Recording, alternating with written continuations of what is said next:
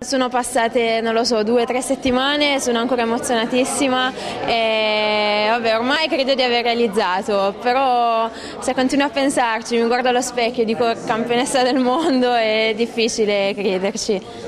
Non capita tutti i giorni di vincere un titolo iridato, ecco perché meritava di essere festeggiato nel migliore dei modi. Paola Piazzolla lo ha fatto con amici, parenti e sostenitori a tre settimane dal trionfo nei campionati mondiali Under 23 di canottaggio a Rotterdam e dalla medaglia d'oro vinta nel 4 di coppia pesi leggeri femminile insieme a Giorgia Lobue, Asia Maregotto ed Allegra Francalacci.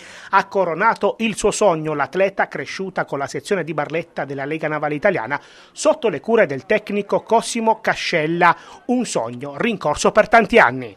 Io sono anni che aspettavo questo giorno, che sognavo questo giorno, finalmente è arrivato e quest'anno è stato davvero durissimo perché sono partita che non avevo gli stessi valori fisiologici che ho raggiunto a luglio durante il raduno, quindi diciamo è stato difficile anche dal punto di vista psicologico, però non ho mai mollato, ci ho sempre creduto e ce l'ho fatta. Soddisfatta sì ma non appagata, l'attuale portacolori dei Vigili del Fuoco Billy Masi di Pisa è pronta ora per compiere il grande salto nel canottaggio dei senior. Io sono pronta e continuerò ad allenarmi, quest'anno ho intenzione di allenarmi ancora di più proprio per questo, perché ho intenzione di farmi un posticino nella squadra senior e quindi di conseguenza quella olimpica.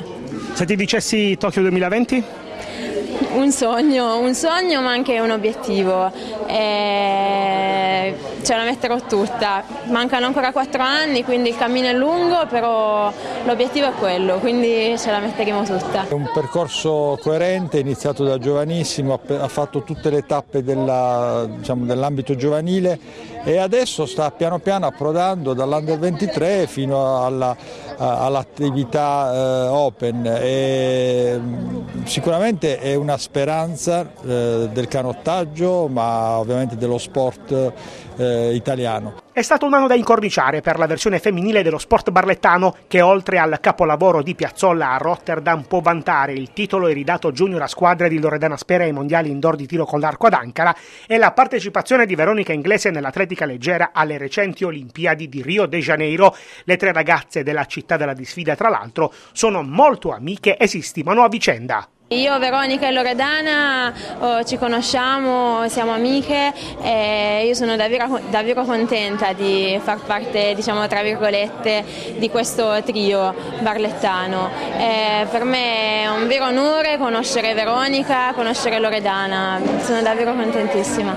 Sono diversi anni che diciamo che queste tre atlete sono di livello prima nazionale, adesso internazionale. Abbiamo visto giusto, ma del resto erano non dico facile, però era intuibile che i grandi sacrifici di queste tre ragazze coronassero in quello che stanno vivendo.